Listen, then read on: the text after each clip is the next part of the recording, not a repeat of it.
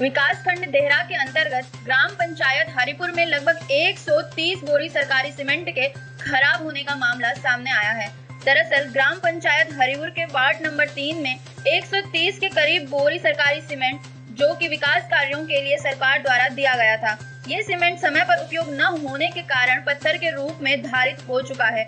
यही नहीं, ये सीमेंट रामचंद्र मंदिर के पास एक भवन में खुले में पड़ा हुआ है। जिस भवन में ये सीमेंट रखा हुआ है, उसके खिड़कियाँ दरवाजे भी नहीं है।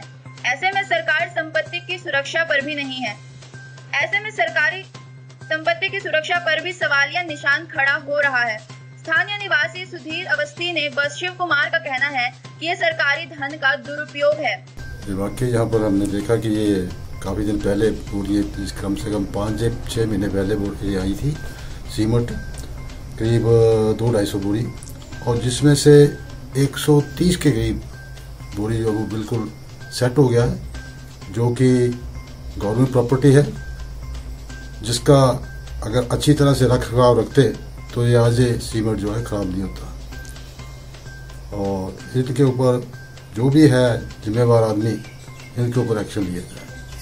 धन्यवाद। ग्राम पंचायत हरिपुर के अंतर्गत रामचंद्र मंदिर के निर्माण डंगे के निर्माण के लिए काफ़ी समय पहले कुछ बोरियाँ अलॉट हुई थी। उसमें से कुछ बोरियों का प्रयोग किया गया। बाकी 125 से 30 बोरियाँ पर पूरी बरसात यहाँ खुले कमरे में पड़ी रही और वो पूरी तरह सेट हो चुकी हैं।